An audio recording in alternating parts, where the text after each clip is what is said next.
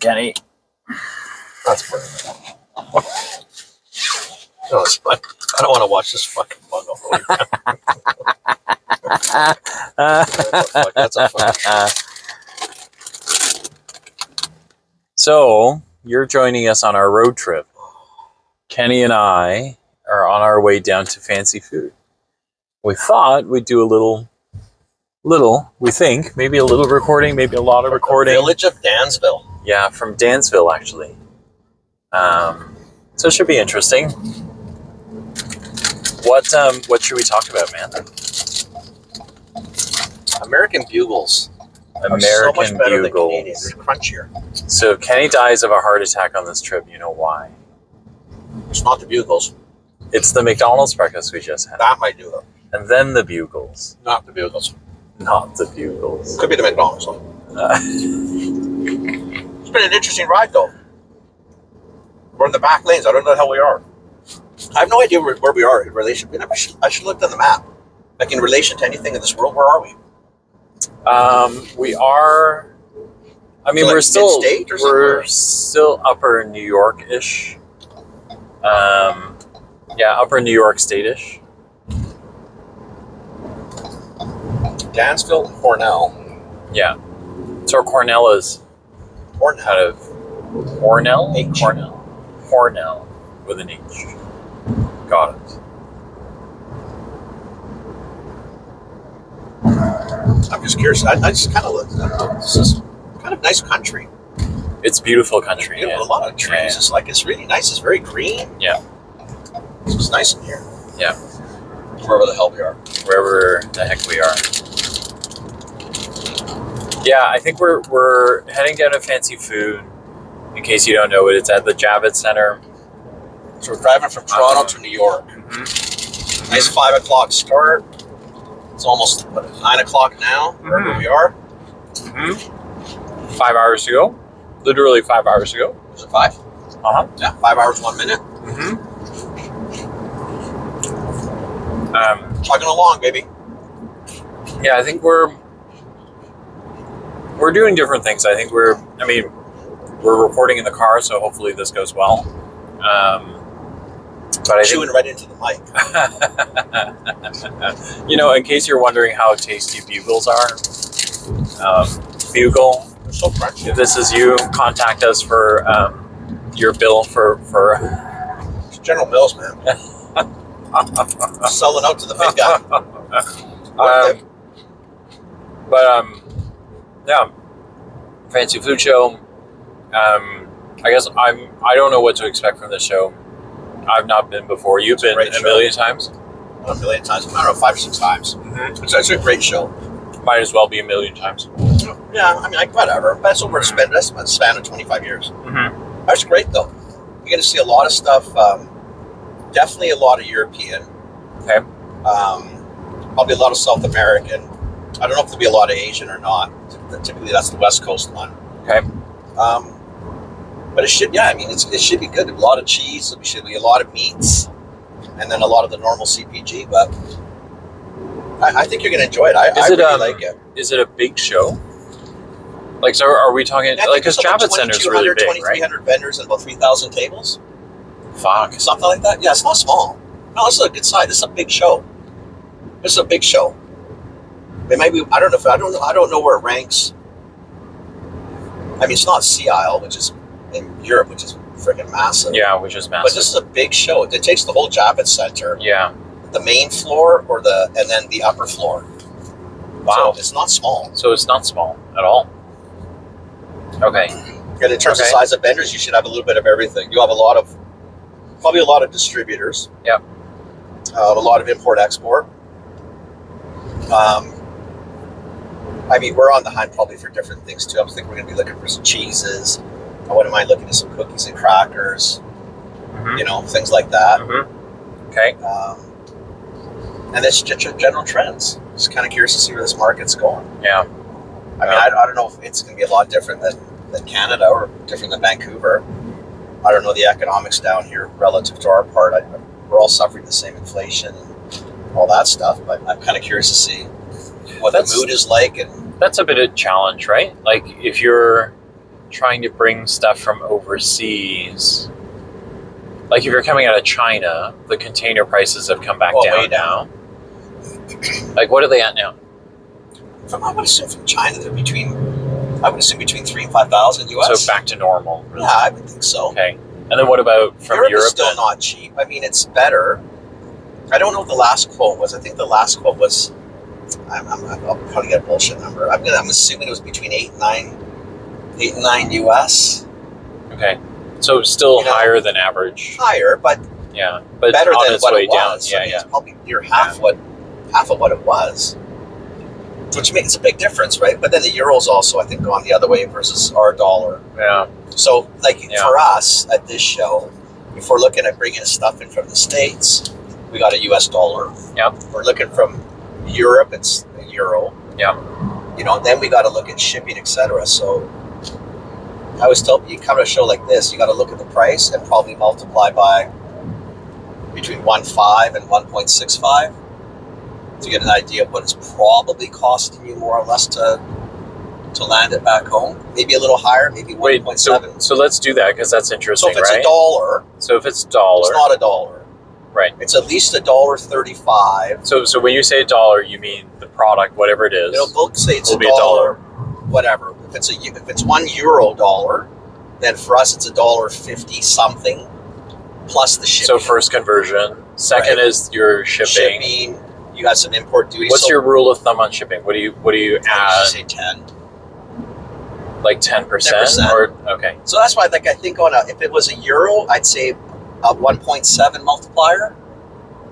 So if they quote you a euro, assume it's a dollar seventy by the time it lands. Yeah. Maybe a okay. little higher. If it's a US, be the dollar thirty-five ish plus another say Because you a dollar because you've got a you've got a one point five like euro conversion rate. yeah, more or less, right? So so then a euro dollar is really a buck fifty Yeah, Canadian, let's call it, yeah, right? And another ten percent for another ten shipping, percent for shipping. and who else? So, you know, a yeah. here, there, or Yeah. whatever. Yeah, yeah. I don't think yeah. that's unreasonable. So you're a buck seventy now. Yeah. Before you start talking We about anything. That's just to get it to your just to get door. it into the country, into your but and that doesn't include things like customs or anything else, no? Yeah, it could be buried in there. Okay. And that's that's hope. That's you know again if everything's sort of compliant and ready to go. If Yeah. they don't have Canadian packaging like English French, the right nutritional panel, Right. Maybe it's a dollar ten euro, not a dollar anymore. Yeah. Because you know the problem with Canada is you know we're small. Yeah. So not everybody wants to run in and deal with seven cities. Yep. Yep. You know, spread out over five thousand miles. Yeah. We don't have a huge population base, and then we do make it sometimes a little challenging. You know, Well- to deal with us. The English French for a lot of countries is a pain in the ass. And then you you have different challenges than someone say like me, right? Because you're on the west coast. So when you're dealing with these guys, you've got to specify where you want to deliver to, right? Because the delivery cost to like a Vancouver versus Yeah. a Toronto and a lot of times, what these guys will quote is FOB, their place. Right. Right. So you have to build all that in. So, like I said, a dollar seventy, dollar seventy-five, maybe from Europe is probably Okay, it. Should, that should be fine. so Excuse me. can we play that all the way out? So if it's a buck seventy five, before you do anything with it, Yeah. in your in your mind, what is the calculus to get it? Like so, at a buck seventy, what is it? Probably What should it $6.99 retail? Retail at six ninety nine. Right. right? So, So ideally, three times, start higher. four You times look the at the cost. product and say to before you Yeah. did, before you worried about a dollar seventy, dollar seventy-five landed, Yeah. I would look at it and you know we'll be discussing. Okay, what do we think we can do in this? Oh, this is like a four ninety-nine retail. You work backwards. Yeah. And there you're going to get down to like a buck and a quarter, a buck forty, which then you're you're dead before you start Yeah, yeah, yeah, because it was going to cost you a dollar seventy-five just to land it. What are you going to do? yeah. The game's over. So. Yeah. Okay. Okay. And with cheese is going to be interesting too because you need quota, right? Which we have to to to. to Can you at. explain that? Government regulates how much cheese can come into our country. Okay. And then you have rights to In a the old certain days, amount it of used to be, the if I'm not mistaken, Yeah. it used to be strictly a distributor or a manu, a distributor, so like a Saputo Yeah. would have quota, and then a bunch of other little guys would have had quota. Over the years, they typically sold it to people like Saputo and whoever, And what that allows you to do is actually bring cheese. in. Like you can't just phone Europe or Italy and say, you know, I want a pallet of Parmigiano because they can't.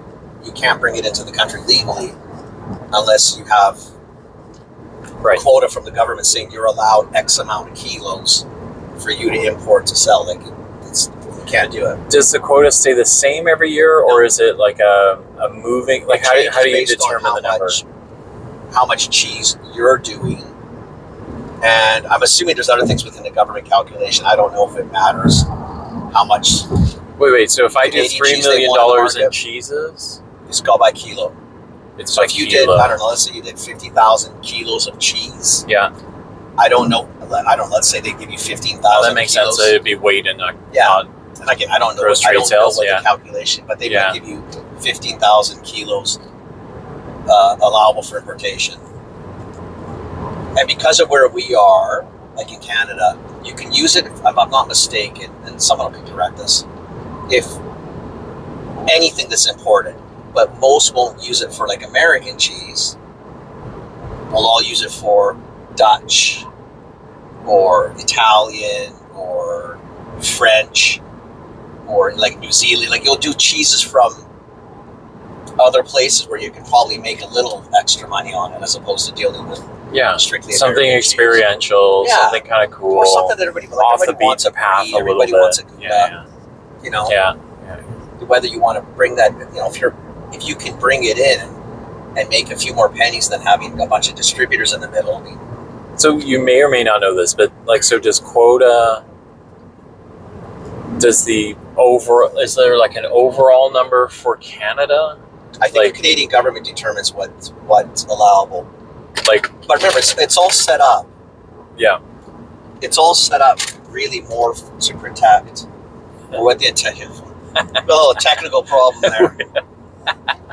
It's it, the intent is to protect Yeah. Canadian industry, okay, right? No different, I guess, what the milk board was set up to do was Yeah. to make sure that Canadian dairy took prominence over our Okay. neighbor, where we are now in the states. yeah, yeah, yeah. And for Canada, for cheese, I think a large part of it, definitively, was to probably protect uh, Quebec cheese. Right. Um, probably Ontario cheese at the time, okay, right? Yeah. If- really, truly, like our cheeses in Canada, the cheese that comes out of Quebec and Ontario, even BC, we make some pretty skookum cheeses. yeah. I don't know how much protection we really Need. need per se. Wait, are you gonna get hunted down for saying this? Uh, probably. Because again, you know what it's like. If you can do, if you make a good product, it should stand on its own. Yeah, yeah, yeah, yeah. you can't protect things forever. So Yeah. I don't think it's a bad idea to protect your own industries, but I don't think our Quebec cheeses are. To a certain extent, right? Yeah. Like you, you need, you still need fair market competition. Exactly. You need some of those things.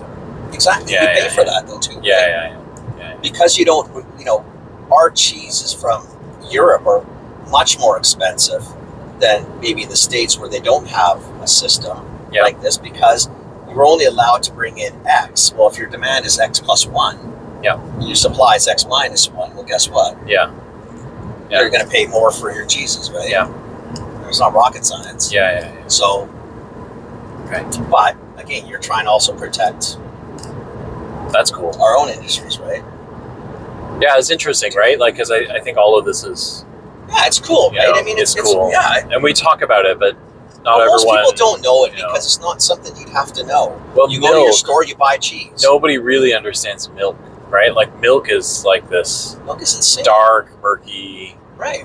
Yeah, And then you have farmers, and you saw in the news, you know, last month, there's guys dumping 20, 30, 40,000 liters Yeah. of milk because Yeah. it was almost like, I think that was an overquota. They had Yeah. too much. yeah, yeah, yeah.